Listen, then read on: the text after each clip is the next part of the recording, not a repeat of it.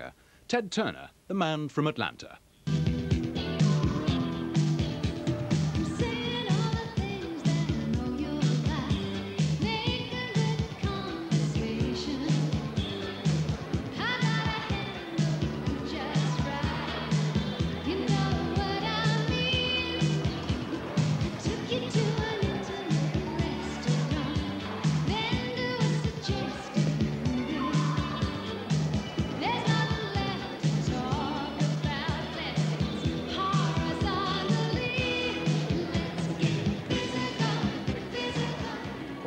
Somebody wrote an article last week that we ought to bring Hubie Brown back. I think it was a friend of yours with the other paper.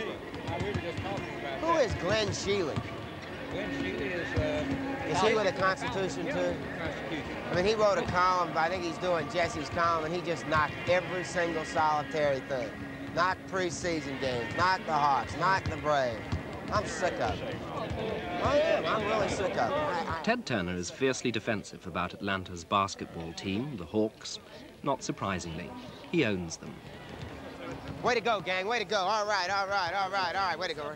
Y'all are terrific. And he employs the match commentator. You're still going to come see me, right? I did. I called Dee today. Did she set you up an appointment? Well, I, she said call the beginning of next week. You're going away, I think. Yeah. Tomorrow or so. I really would want to see you, though. I mean, tell her I said that, that I want to see you. After you pass screen away. Thirdly, the three man is dead wide open. Coming around, they're going to help. So you go to three man, you don't have it. You can jump into the five man, to the center, okay? And it's a key period of the game right here. Like 54. All the way, okay? Don't show it all the way. Basketball, along with ice hockey and football, are America's major winter sports. Tonight, the Atlanta Hawks are taking on the Kansas City Kings in a league match as vital to the local fans as Manchester United against Spurs would be here.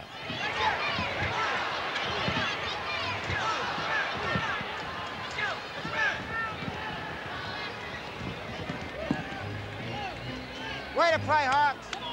Atlanta proudly resisted the North in the American Civil War, and today it's the unofficial capital of the new, affluent South. Not only does Ted Turner own the team, he also owns the television station, Turner Broadcasting, that's transmitting this game to an audience throughout America, from Alaska to Hawaii.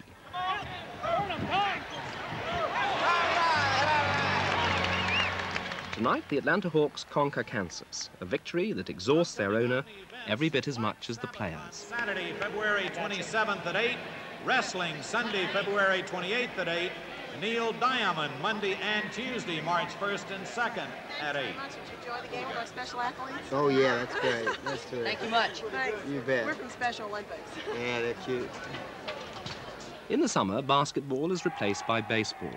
And to ensure exclusive coverage of the Atlanta Braves, Turner bought them as well. At the time, they were a depressingly unsuccessful team. Now they're near the top of the league, and their matches are well attended thanks to some vigorous promotion from the boss. What do you think of this team? I like every one of them. So do I, so do I. And listen, come down and see the big league team with little league spirit, and hey, we're in Atlanta. Ted Turner was born in 1938. He grew up on his father's plantation in South Carolina and followed him into the family business, selling billboard advertising. In 1963, the business went bust and his father committed suicide. Turner took over. He raised money to buy back the assets. He saw the future for advertising lay in radio, so he gradually acquired five radio stations. But the move that was to lay the foundation of his fortune was into television, and for this he moved to Atlanta, a town that held considerable personal appeal for him.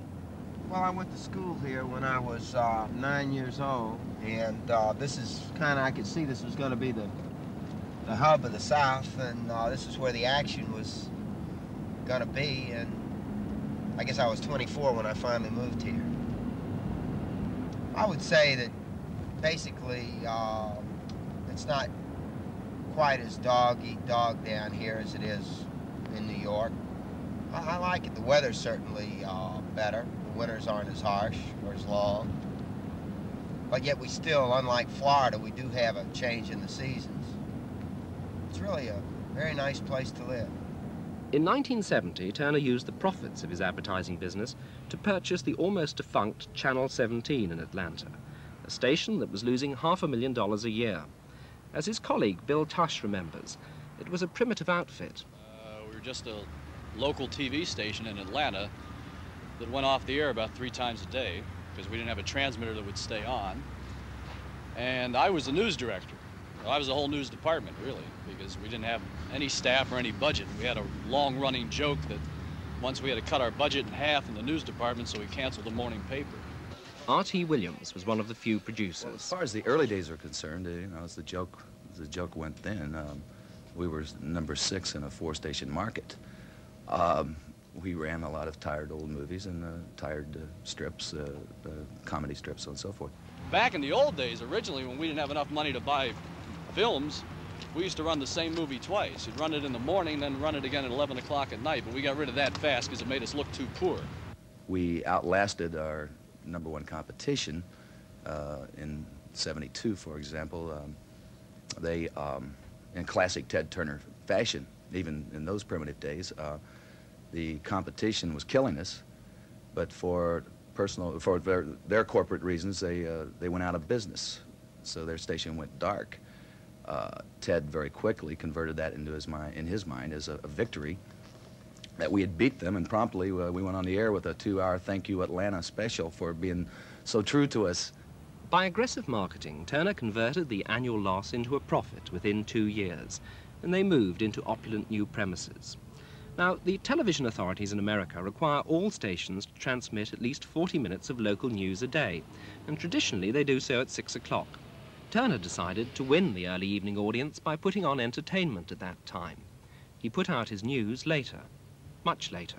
We did our news show at 3.30 in the morning because uh, we had to do news like all broadcast stations. But the only thing was, we didn't want to put it on at 6 o'clock at night. We were making too much money with uh, shows like Beverly Hillbillies and Andy Griffith and those things, the situation comedies.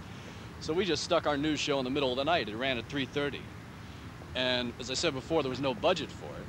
So what we would do was we just started to play with it. We had fun, fun doing it. We had a guy that was called the, uh, the unknown newsman that would do stories with a paper bag on his head. One night I did it with a dog as my co-anchor. It was just an insane news show, but it caught on with a lot of people. With the station proving popular locally, Turner thought the rest of the country should see it. His masterstroke was to put it on the satellite. I just did a little research on the satellite and found out we could reach the whole nation, so I decided to uh, see if we couldn't do it. And we had to go through applications to the government uh, to, to get permission. That took us about a year, but then we got permission and we did it. How come no one else had thought of that? Well, I don't know. You know, how come nobody else thought the world was round till Columbus came around? It's no wonder Superstation WTBS has become America's most popular cable network. Word's getting around that you can count on the Superstation for the variety of entertainment that keeps you laughing.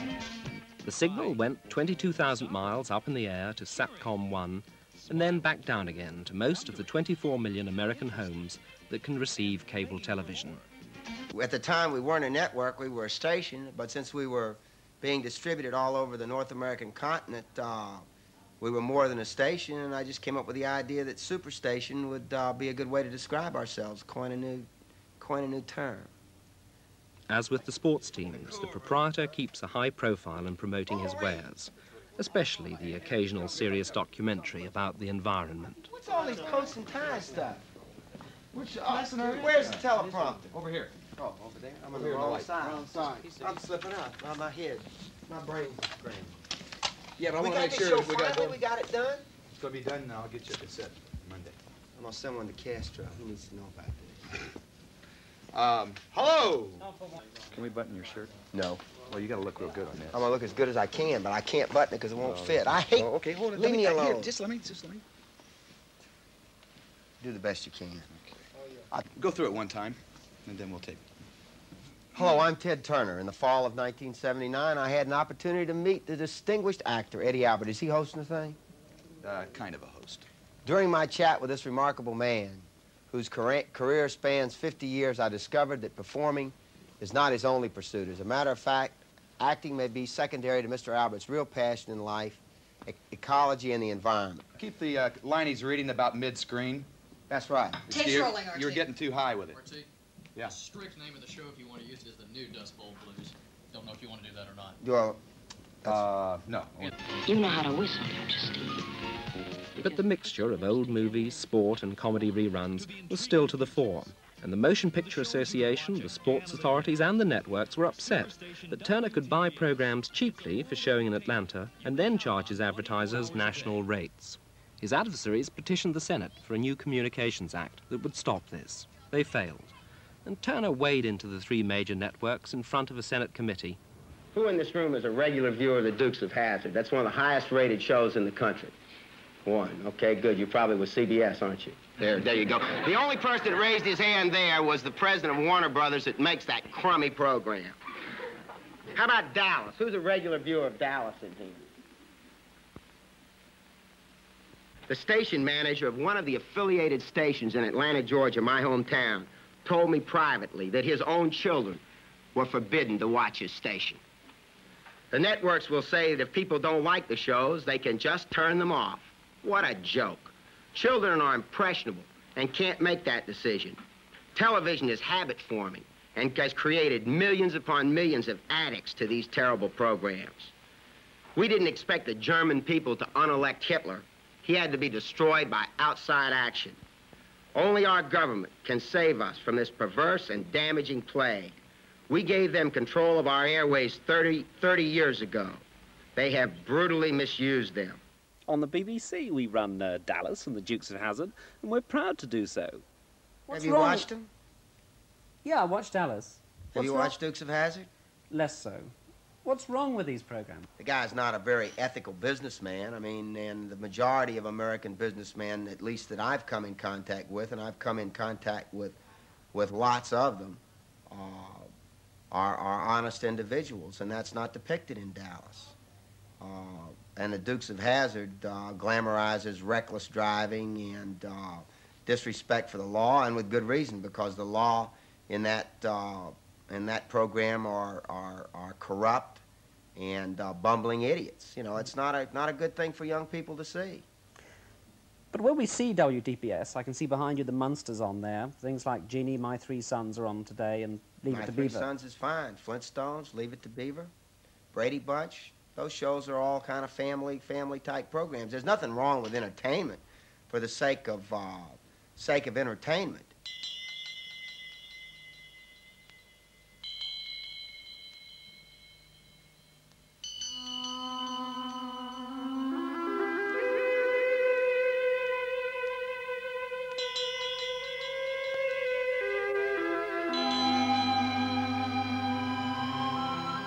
With the newfound capacity to send his signal across the continent, Turner looked for other uses for the satellite system. Using the ever-increasing profits from the superstation, the man who used to put out his news at 3 a.m. took a giant step forward for television journalism. On the 16th of June 1980, the world's first 24-hour television news bulletin began. It's been broadcasting non-stop ever since. It had taken them less than a year to construct Turner's cable news network in the basement of the superstation. Tomorrow, the jury then will retire to consider a verdict. The U.S. Bureau of Standards. Hardly an expert in setting up a news operation himself, Turner engaged a veteran newsman, Reese Schonfeld, to pull the enterprise together. I first visited with him after our phone conversation. He said that there were only four things that television did. They did movies, did sports, did conventional syndicated half-hour, hour programming, and did news. That he wanted to carry that from broadcasting into cable. Nobody even suggested it uh, until after we announced we were going to do it, and then some people thought, gee, maybe this is a good idea. But it was such a, a revolutionary idea, and, and the big corporations in America that, that thought about it, they've got so many committees and everything, and shareholders and regulations and so forth, they never could quite get it together.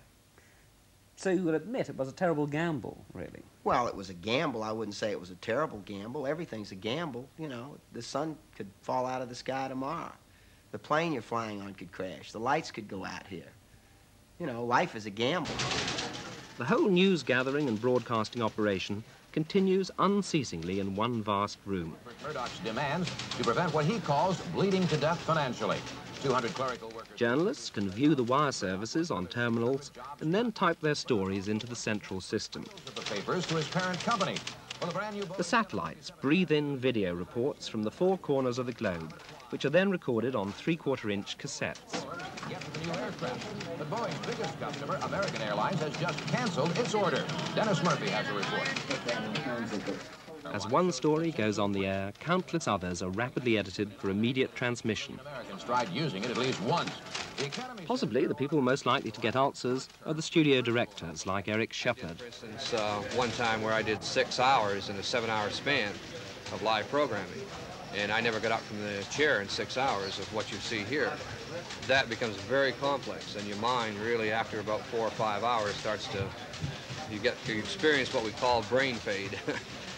I have in one ear the crews here, uh, playback people, TD, audio person, all my support people here in Atlanta.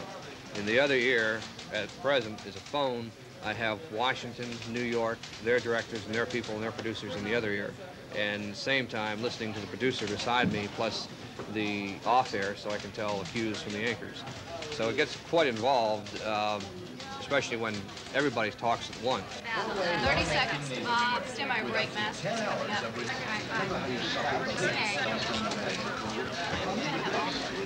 Camera two's a box right. Uh, take a picture. Okay, we'll punch rods. 10 to you. Bob, two top Brace presidential wash. advisors indicated interest today in a budget plan Do we have proposed by? Senate No. Budget Committee No. Chairman Pete Domenici. Bernard Shaw in Stand our by. Washington Bureau has details. Take wash.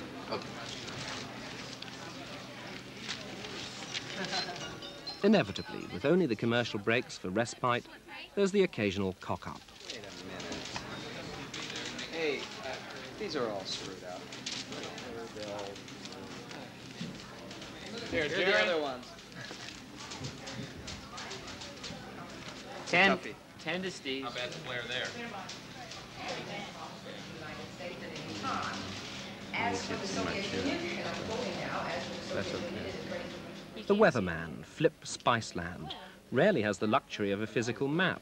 Usually he has to trust that the camera operator and the computer graphics department will electronically frame up the correct pictures. LaGuardia is reporting snow at this time. Most of that is in the form of rain, although at the upper elevations in the mountains of Virginia and Maryland, we have had some reports of freezing drizzle. In addition to the uh, precipitation in the east, we've also got some rain to talk about in the state of Missouri. In the west, here's that system coming out of the desert. Southwest, look for some freezing drizzle associated with the rain down through Texas A&M. The technical challenge is for those on the floor. The editorial responsibility reposes with the man above. Our editorial policy is to present the news as it is.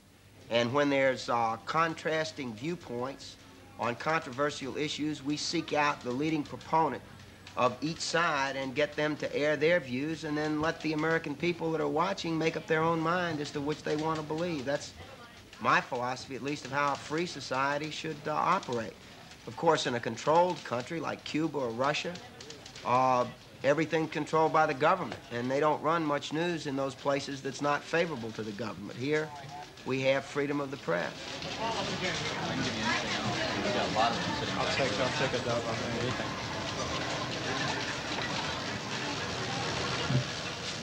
Many of the staff are young, just out of college, and the accusation has been laid that they are underpaid and inexperienced. Journalists in the field who go out and report are all very well trained indeed. They include Pulitzer Prize winners, people who've worked for the networks for many years, other people with wide experience in either newspapers, magazines, or local television.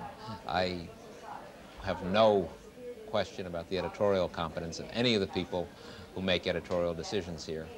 In the other areas of uh, technical people, there they are quite young. Occasionally they make technical mistakes.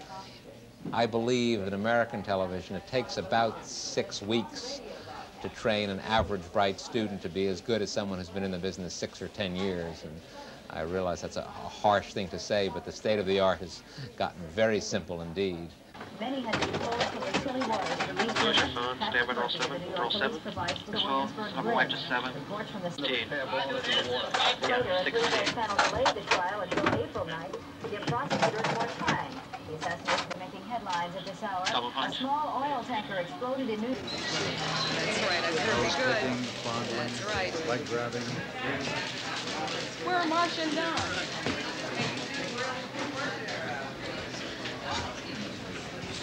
Come on, you guys. Schonfeld recruited his newsreaders from local stations all over America. Now they're national faces in the 10 million homes that subscribe to the cable news network. There are nearly 40 anchors, as they're known, in CNN, and like the guards at Buckingham Palace, they just keep changing, day and night. Yeah, give me Hey. Are you producing today? No. Yeah. Television news is competitive big business in America. When we filmed at CNN in February, Reese Schonfeld was still celebrating a major scoop over the networks. The best story, the story that happened only two weeks ago, when our crew in El Salvador trapped an American uh, military advisory team carrying uh, M16 rifles. So it's equipment that's really not permitted or wasn't permitted under their guidelines. And that turned into a front page news story all around the world, resulted in the recalling of the head of the team, and uh, has really now resulted in the change in the rules. They are going to permit the uh, advisors to carry M16s.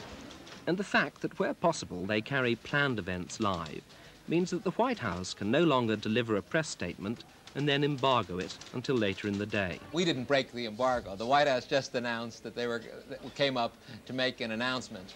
They made the announcement, prepared to say after the announcement that this was now a hold for release. Even while they were waiting to say this is a hold for release, we were going out with it live, and they really had no they had no choice but to let it go as it went. So politicians are having to accustom themselves to live broadcasts now, really, aren't they, or live coverage? Oh, oh, certainly, and they're going to, and they have to get used to later deadlines. No longer can a, uh, we hope, no longer can a politician tell you something at a quarter to six, feeling that you're not going to have to have a chance to check it out or talk to the other side of the story. The best financial advice would have been not to start Oh, a cable course. news network. I got plenty of that. The best advice is never to do anything. You'll never get in trouble if you don't do anything. But on the other hand, you'll never get anywhere either. You know. Faint heart, ne'er one fair lady. Talking of fair ladies and fair gentlemen, naming your audience, how did you know there was an audience out there for 24-hour news? Oh, I just knew it. Uh, it just is an alternative. When somebody comes in at, uh, right now when the newscasts are presented at 7 o'clock, you know, I'm never home at 7 myself, and there are a lot of people like me, you know, they don't get home till 8. Well, you miss the news if that's the case. So obviously, uh, people work on shifts in this country. Some people work at night. They're doctors getting home from the hospital. They're waitresses and uh, chefs in restaurants. There's TV men that are working all day, you know, and don't get home till, till late at night. Uh, you know, it's you don't have to be a genius to figure that out. And now, one of Boeing's biggest Although CNN made an estimated loss of $30 million in its first year of operation, today it's in the black, encouraging the networks to enter the now profitable field of 24-hour cable news. Deciding the best form of defense was attack, Turner boldly opened a second news network on January the 1st this year, CNN2. Popular polka albums is Beer, Beer, Beer, featuring the Marion Lush Orchestra. Boom, Papa, this is CNN 2. Turner used the 18-minute every half-hour rolling news formula his competitors were likely to employ. Ted Kavanau is the editor of the second channel. Uh, CNN One is more of an, uh, an in-depth service. They do interviews, they do talk shows, they do financial shows, they do sports shows, all half-hour and hour programs, as well as doing news. And in the news, they'll do some interviews. They'll do some slower things. We're strictly high-paced, high-speed, uh, no long interviews, a quick service, a headline service. We're a live worldwide news network. We can offer the comprehensive coverage found in the print media, but we're not a magazine nor a newspaper. We bring immediate, up-to-the-minute news coverage 24 hours a day. You're going to do something even more sensational in that you're going to turn television into radio. It's like putting back the clock. What's the idea behind that? The idea is to seek out markets. Uh, we'll go where we can. We think that the audio from television, call it uh, teleradio, or some people call it drive time television, is as good as what you get on most uh, all-news radio operations. So we thought, here's a place for us to market the product. We're just trying to make a living and looking for any place that'll, that'll take us. Plus, since Westinghouse and ABC have come onto Ted Turner's territory, we're going right into theirs, which is broadcast and radio. An hour and a half after the blast, the barge sank. Despite the boldness of the tactics, CNN 2 will probably lose Turner Broadcasting $20 million this year. The fact that their employer is operating on a knife edge is no secret from his increasing army of staff. A decade ago, there were only 30 of them. I mean, we've got uh, over a thousand people working at this company. I, I basically believe that as much, uh, as many, I like to see decisions made at the lowest level as possible. I like people that, uh, that think for themselves. Uh, we have numerous discussions about uh, top-level policy around here, and I listen to uh, listen to people. I don't always. I listen to my wife. I ask her about certain things when it comes to to programming and uh, try and reach a decision. But when, when, when I make a decision after listing all the facts, if it's a decision I want to make myself, then I make it, and that's it until it's proven uh, proven wrong. And then if I'm wrong, I'll admit it and change. It's like sailing a boat. Uh, you you pick the course that you think's going to be best. Not, it doesn't always work out, but uh, you know, with a boat, there's got to be one captain when it comes down to making decisions, or you won't get anywhere. You know, Nelson ran the fleet, didn't he?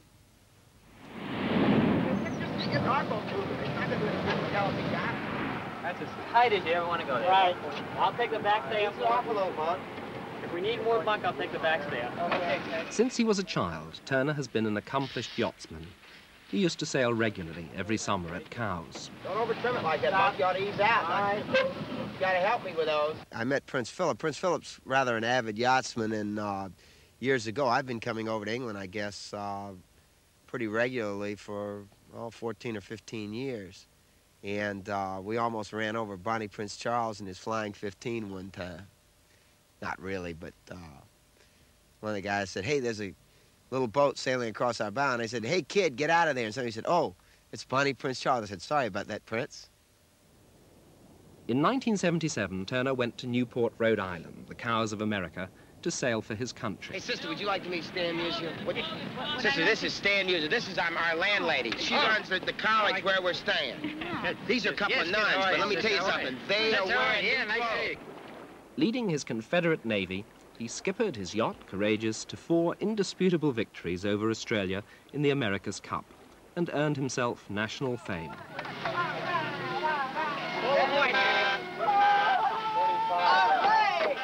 National notoriety followed hard on its heels. When we first uh, went across the finish line, uh, they handed us over a few bottles of champagne and some beers, and we uh, we, we started drinking that. And then the, when we when we got in, uh, they threw us in the water, and it was real cold. They have a, old custom of throwing the winning crews in, and someone gave me a bottle of Aquavit, I guess one of the Swedes, and uh, I started tipping a few from it, and I was uh, a little tipsy before I realized it. And then they said, now the press comes. I said, oh, I forgot completely about that. That evening, a vast national television audience set eyes on the man from Atlanta. I think that uh, all those who watch the race can appreciate that. Uh... Thanks.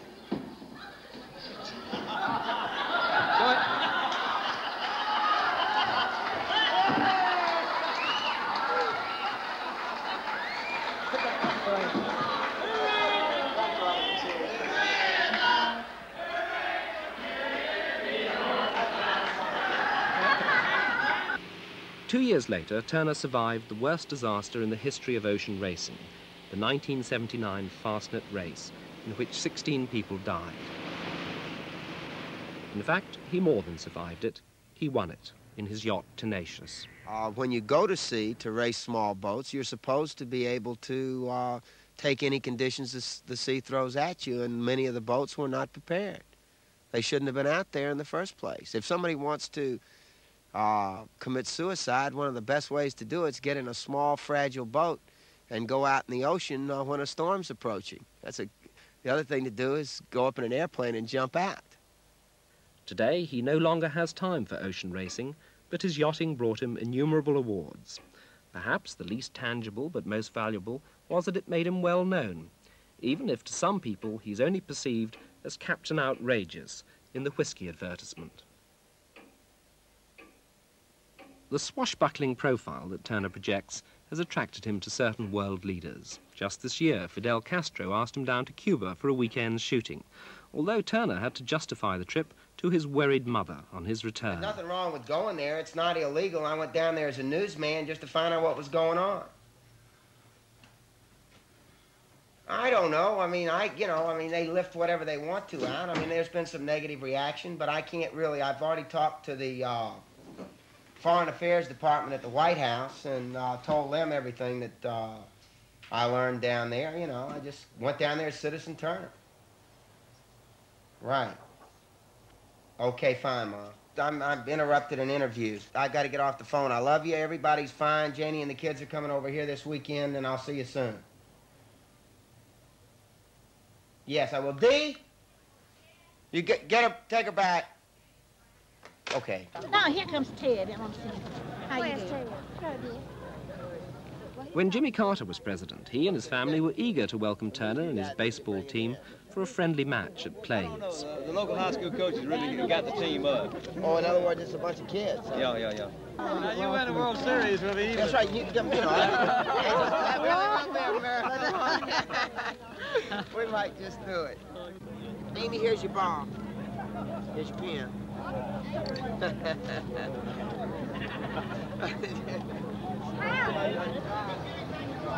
Thank you. Enjoyed it, Ted. Don't forget an invitation now by throwing out the ball at the World Series. Good deal. A prevailing message in the 80s is that opportunities abound, that there is an unlimited market for those who are energetic and self-confident enough to assume the risks. Ted Turner has most admirably met that challenge. We are very proud to present him with Georgetown University's 1982 Business Leader of the Year award. In America, Turner has become something of a modern myth. He's in great demand as a speaker. People want to find out what he's really like. He rarely accepts such engagements, but when the University of Georgetown in Washington made him Businessman of the Year this year, he decided to go along. All during my life, I, until recently, I had this gnawing uh, pain or this gnawing feeling that, you know, maybe I wasn't going to be a success, you know. And, and my father died when I was 24, and he was the one really that I expected to be the judge of whether I was going to be successful or not. There's a magazine. It's not very successful because I wanted to get called Success Magazine. I'd never heard of it, but they called me up one day and said, we're going to put you on the cover of Success Magazine. That was a couple of years ago. Well, it was a good picture, and I wanted to get several copies. I could send one to my mother-in-law and my mother, and they could only give me four copies. You know, that, they didn't print, you know, they're not really very successful. But I figured, you know, I held it up and said, Dad, you know, I mean, I'm in the cover of Success magazine. Is that enough? Success, in my opinion, is not how many things you have or how much money you make. I ran into a classmate of mine at a class reunion of, oh, several years back, and I was doing pretty well in business, and I ran into this classmate, and I said, what are you doing? And he said, well, I'm not a very big success. I said, well, what are you doing? He said, well, I'm a minister in the state insane asylum. I, I mean, the tears welled up in my eyes. I said, You're a far greater success than I am. All I've done, this was before I had, had changed over to be a wild-eyed do-gooder, which is what I am now, you know, and I'm not, I'm not ashamed of it because all you have to do is, is look at Howard Hughes' life and watch the movie on his life where he was uh, ruthless and only cared about himself. And, and, and go see, uh, see Citizen Kane, you know, uh, with Orson Welles who, you know, the story of, of a man who uh, was also ruthless. Both those men had lots of money and lots of power, and they died alone, unloved, with nobody there to, uh, to mourn their passing.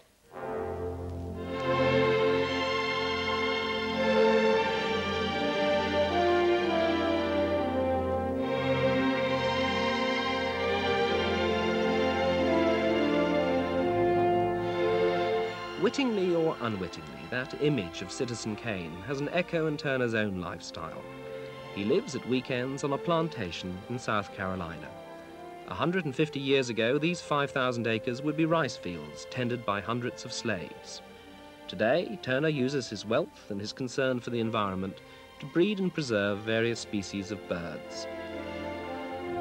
We raised 20 of these geese last, last year. And uh, then there's several types of ducks in here, too.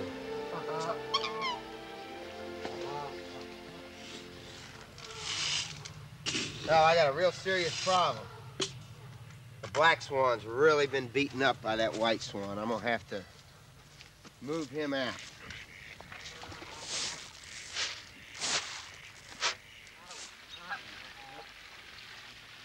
He lives there with his wife Janie and their children.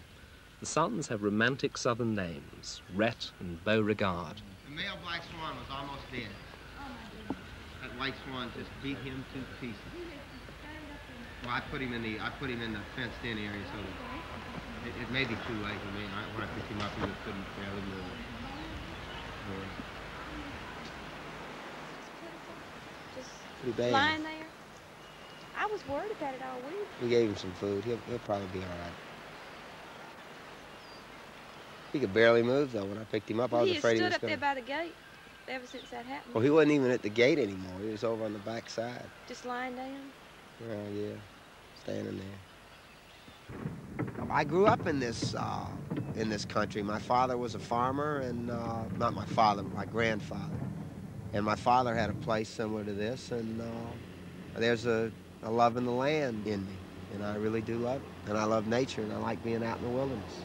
And it's a good thing because my life is so hectic back at the station, and I have to make so many speeches and public appearances that if I didn't get away and clear my head and get away from the press of the crowd at times, I, I might not make it.